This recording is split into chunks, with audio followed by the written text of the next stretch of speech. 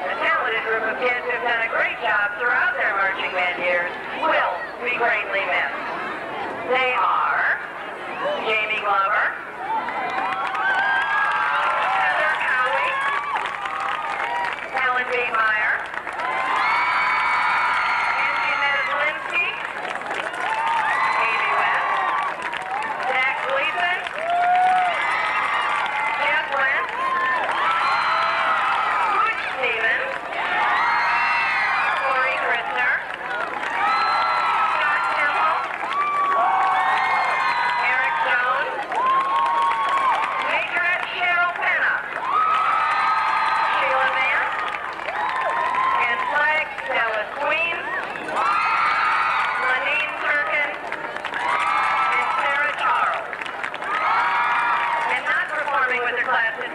Amanda